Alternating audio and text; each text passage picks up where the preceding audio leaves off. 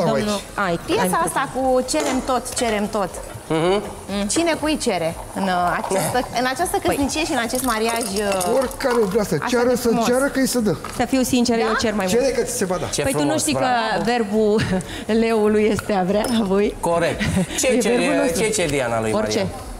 Orice? Orice. Îmi Și place ce nu să poate. pune problema. Să-mi Și ce dea. nu poate îi ceri? Și ce nu poate să-mi dai ce? Săracul. Cum reacționează când Acum îi o să se mai cere ceam ce, cărunțit. ce nu poate? Se dă peste cap până reușește, nu? Nu cere, mă, fraților, vorbește acum ca să fie o glumă frumoasă. Nu cere, ce să ceară? Imposibil, dă un... Și chiar dacă cere și oferă.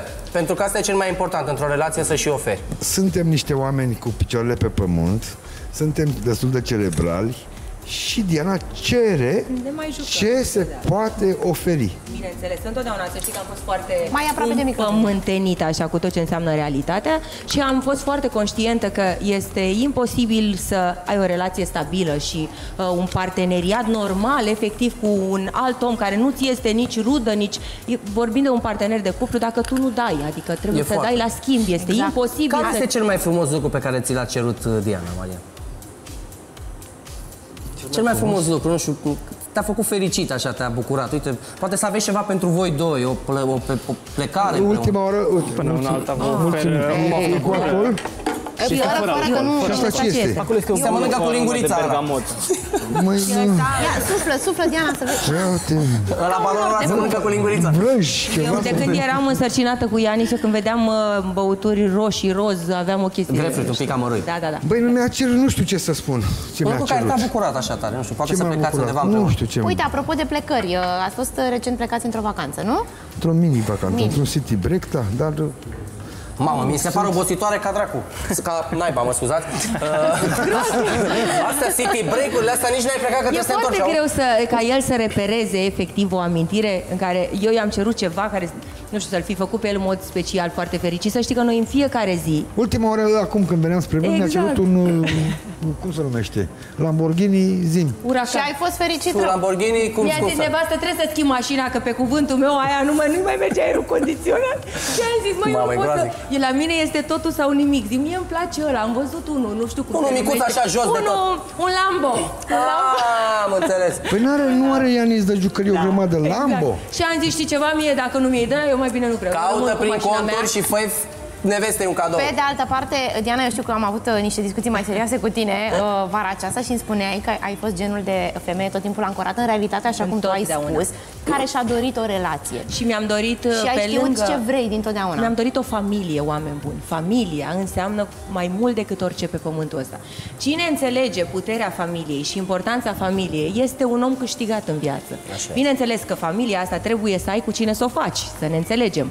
Ești norocos dacă în viață întâlnești un partener care, uh, cum să spun, să nu neapărat să spună mai presus de interesele lui, interesele tale, dar cu care într-adevăr să ai aceleași, uh, nu știu, să ai și chimie, Aceleași să ai și valori, aceleași cumva. obiective, aceleași valori, să împărtășești aceleași principii de viață.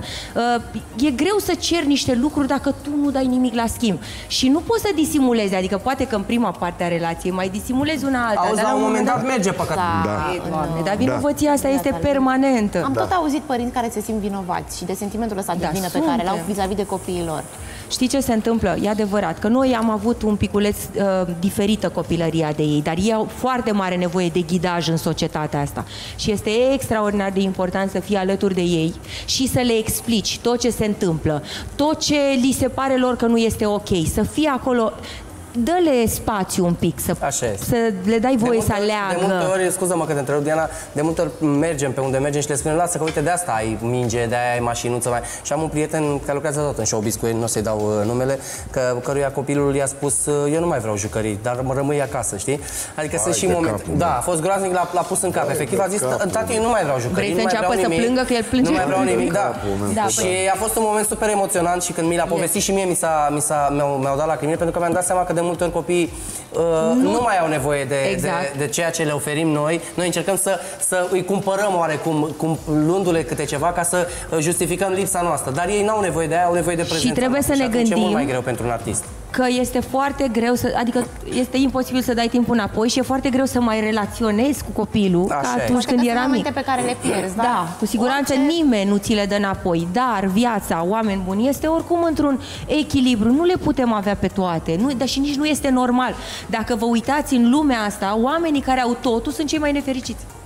N-au nimic de fapt. Ia- Nu mai adevărat. luptă pentru nimic. Este foarte foarte greu greu. să ai totul și în re- în realitate să n-ai nimic. Nu, noi avem nevoie de tascuri, avem nevoie de obiective, avem nevoie să muncim și să luptăm pentru visele noastre, pentru lucrurile pentru care noi sau sufletul nostru tânjește. Noi când nu mai avem lucrurile astea, suntem pierduți. Suntem pierduți. E foarte adevărat. Foarte frumos, foarte frumos am vorbit despre, despre familie. Noi vă mulțumim foarte mult. Azi, am rămas cu mulțumim niște și noi, cuvinte vă foarte mulțumim. frumoase așa în, în suflet și în minte. Da, Vă și- mulțumim că ați venit. Vă dorim succes cu piesa asta care Doamne e foarte ajută. tare. Mie îmi place la... Voi știți că eu sunt fanul vostru și când toate piesele voastre oriunde. Și vreau să vă cânt la toți la nuntă, ca să știți. Da, Da.